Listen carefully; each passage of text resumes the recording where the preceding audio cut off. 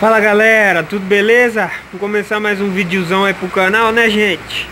Hoje a gente vai fazer um P0 255 40 19 Olha o que aconteceu aqui pessoal, fizeram o remendo, mas ele tá, tá soltando, ó, tá vendo?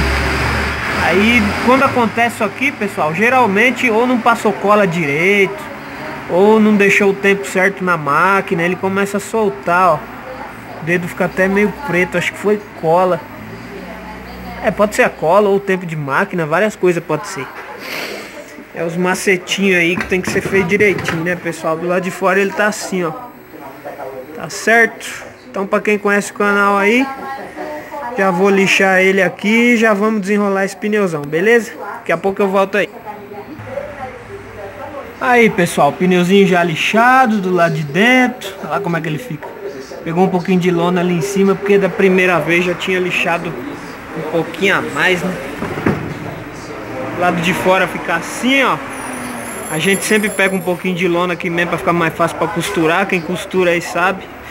Outra coisa que pode soltar o remendo também, pessoal, esqueci de falar, é a mão suja, tá? Sempre quando você vai mexer com o pneu, não é porque o pneu é sujo que você tem que estar com a mão suja. Tem que estar com a mãozinha sempre limpa, porque senão a hora que você passa a cola para colar o remendo, a mão sujeira da mão vai pro remendo e não segura.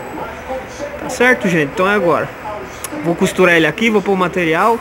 Daqui a pouco eu mostro ele pra vocês aí só pra pôr na máquina, beleza? Já volta aí. Então é isso aí, galera. O pneuzinho já tá preparado pra pôr na máquina. Lá de dentro fica assim, ó. Lembrando que aqui a gente só põe uma lona no meio, duas ligações, como se fosse um sanduichinho. A, liga, a lona vai no meio, duas ligações para vedar bem, evitar de vazar. Lado de fora ele fica assim, ó. Já tá costuradinho, tem uma loninha aqui também para reforçar, como pneu perfil baixo. Certo, galera? Então é isso aí. Vou pôr ele na máquina ali, a hora que tiver prontinho eu retiro aí e mostro pra vocês, beleza? Vamos lá.